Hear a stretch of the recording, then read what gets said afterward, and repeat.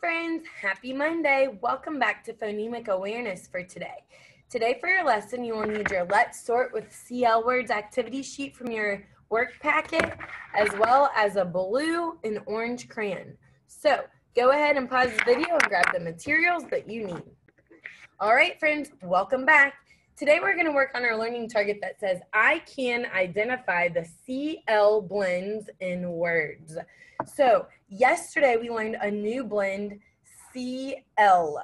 When C and L are together in a word, they say cl, cl. So they make a shorter sound cl, together. We know C says k, L says ooh, and when we put those together quicker, we say cl, like in the word clit or claw. So we circled pictures yesterday that we heard the blend in and colored those pictures when we were finished. We've also learned our bl blends. So blends are just like chunks. They help us sound out and spell words quicker so that we're able to read and write.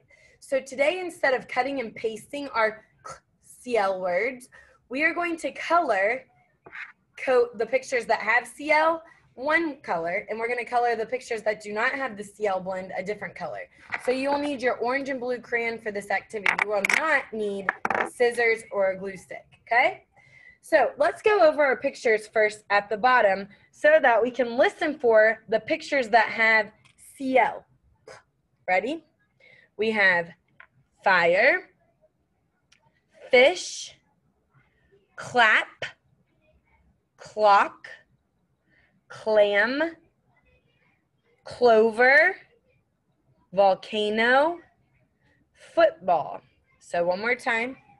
Fire, fish, clap, clock, clam, clover, volcano, football. All right, so all of the pictures that you hear the blend in, you're gonna color blue. All of the pictures that do not have the blend in it, you're gonna color orange. So let's do one blend picture together. So I'm gonna take my blue. And oh, I'm only gonna listen for fire. I don't hear in fire. What about in fish? I don't hear it in fish. What about in clap? Clap. Oh, I hear it at the beginning of the word clap. Clap. So I'm gonna color the hands for the word clap that have the blend CL, okay? Make sure to color nice and neatly, not scribble scrabble, so that we can see the picture and what it is still. Okay, that's all you're gonna do though. All you're gonna do is color your CL words blue. And the words that do not have the, bl the blend CL in it, you're gonna color orange. When you're finished, you're gonna post it to your teacher's Google Classroom.